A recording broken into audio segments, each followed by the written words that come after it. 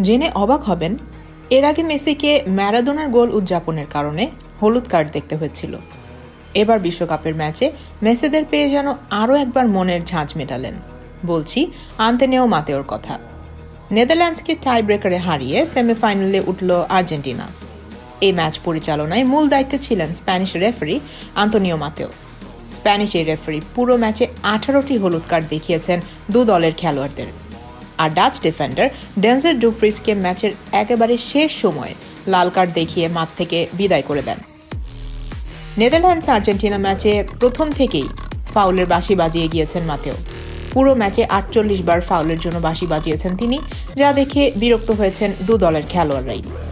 এদিকে, এই ম্যাচে আঠারোটি হলুদ কার্ড দেখিয়ে বিশ্বকাপে এক ম্যাচে সবচেয়ে বেশি হলুদ কার্ড দেখানোর রেকর্ড করেছেন স্প্যানিশ এই রেফারি। ম্যাচের মধ্যে আর্জেন্টাইন কোচিং স্টাফের ওয়াল্টার স্যামুয়েল এবং কোচ স্ক্যালোনিকেও হলুদ কার্ড দেখতে হয়েছে। এছাড়া পেনাল্টি শুট আউটের সময় ডামফ্রিজ দ্বিতীয় হলুদ কার্ড দেখেন এবং নোয়া ল্যাংও হলুদ কার্ড দেখেন।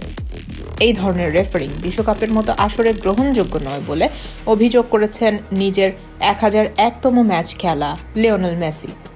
আর্জেন্টাইন অধিনায়কের ভাষ্যমতে, ফিফার উচিত লাউজের রেফারিং পুনর্বিবেচনা করা। বিশ্বকাপের মতো জায়গায়। এই রেফারি ম্যাচ পরিচালনা করার জন্য ফিট নন। ফিফার উচিত তাকে আর কোনো ম্যাচে দায়িত্ব দেওয়ার ব্যাপারটি পুনর্বিবেচনা করা। অন্যদিকে লুইফন গালের দলের খানিকটা উন্নতি। এবার হারের ব্যবধানটা টাইব্রেকারে চার তিন যা আট বছর আগে আর্জেন্টিনার বিপক্ষে ছিল চার দুই দু বিশ্বকাপের সেমিফাইনালে লুইফন গালি ছিলেন ডাচদের কোচ। ম্যাচটা টাইব্রেকারে গড়িয়েছিল আর সেবারও জিতেছিল আর্জেন্টিনাই। এবারও তার একই কৌশল। রক্ষণে সবাইকে নামিয়ে এনেছিলেন কোচ। তবে এবার লুই ফনগাল সম্মান বোধহয় আর আদায় করতে পারলেন না। আর্জেন্টিনা ডাচদের তিন পাঁচ দুই ফরমেশন ফলো করায়। তিনি বললেন, তারা ডাচদের ভয় পেয়ে অনুকরণ করছে। তিনি আরও বলেন, টাইব্রেকারে গেলে নেদারল্যান্ডসই জিতবে। মেসিকে আটকানোর ফর্মুলাও তার জানা আছে। ম্যাচের আগেই এসব বলে উত্তাপ বাড়িয়ে রেখেছিলেন তিনি। ফলে ভক্তরা বেশ বিরক্ত মেসিকেই গতকাল দেখলেন। একের পর এক অযৌক্তিক ফাউল, ডাচদের উস্কানিমূলক কথা, লুই ফনগালের কটুক্তি, সব যেন ভার করেছিল মেসির কাঁধের উপর। লিও বলেন, খেলার আগে কথা বেশি বলা লোকদের আমি পছন্দ করি না। তাদের ১৯ নম্বর প্লেয়ারটা, অর্থাৎ ওয়েঘর্স্ট মাঠে আসা মাত্রই আমাদের খোঁচানো শুরু করে। উস্কানিমূলক কথাও বলতে থাকে। তাদের কোচও আমাদের মোটেই সম্মান করেনি। মেসি আরও বলেন, আমার কাছে এটা অসম্মানজনক যে তার মতো একজন এত বড় মাপের কোচ এমন বড় বড় কথা বলেন ম্যাচের আগে। লুই ভনহাল আর্জেন্টিনা দলকে সম্মান দেখায়নি। আমি সবসময় বড় স্বপ্ন দেখেছি। এই দলটা একত্রে শক্তিশালী। মেসি আরও বলেন, আমরা কোপা আমেরিকা জিতেছি। বিশ্বকাপে আসার পর থেকে আমাদের প্রাথমিক লক্ষ্য ছিল শেষ চারে জায়গা করে নেওয়া শুরুর দিকে অনেকেই আমাদেরকে গোনায় ধরেনি, কিন্তু আমরা হাল ছাড়িনি। আমরা জানতাম, দিবু তার সেরাটাই দিবে। যখন আমাদের তাকে দরকার হয়, সে সব সময় জ্বলে ওঠে।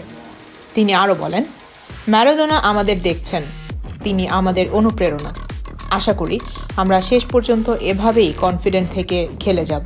মেসিকে রাগিয়ে দেওয়া যে চরম বোকামি তা হয়তো লুই ফোনগাল এবার হারে হারেই টের পেয়েছেন। তবে মেসির পায়ের জাদুর কাছে যেন পৃথিবীর সব কৌশলী বৃথা।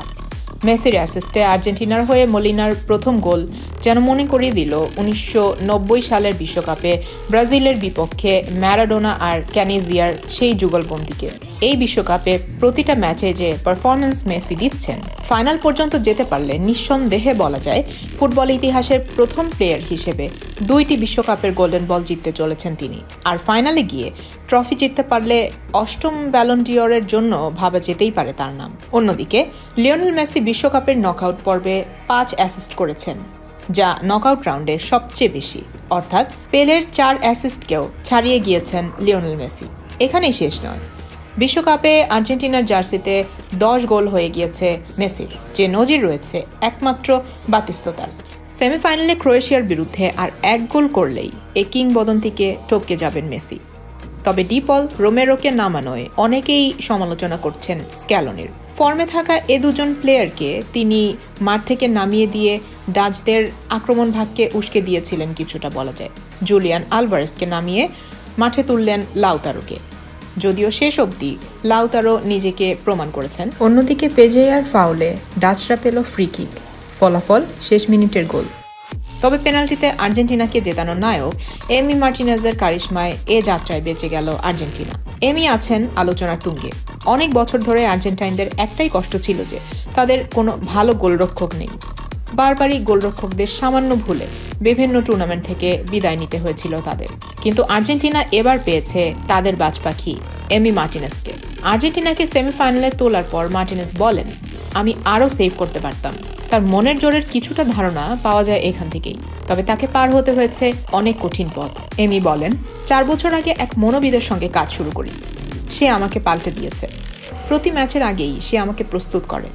মাথা পরিষ্কার করে আমি মাঠে নামি। আমার মনে হয়, সব খেলোয়াড়েরই মনোবিদের দরকার। এখন তো যে কেউ খেলোয়াড়দের ওপর নিজের ক্ষোভ ঢালতে পারে। সামাজিক যোগাযোগ মাধ্যম আছে। এর মধ্যেই মাথা পরিষ্কার রাখতে হয়। সলিড ডিফেন্স সমৃদ্ধ ক্রোয়েশিয়ার সাথেও কি সেমিফাইনাল ম্যাচ পেনাল্টিতে যাবে? নাকি আর্জেন্টিনা তাদের ভুলগুলো থেকে শিক্ষা নিয়ে নব্বই মিনিটেই ছিনিয়ে আনতে পারবে জয়? জানার অপেক্ষায় রইল বিশ্ববাসী।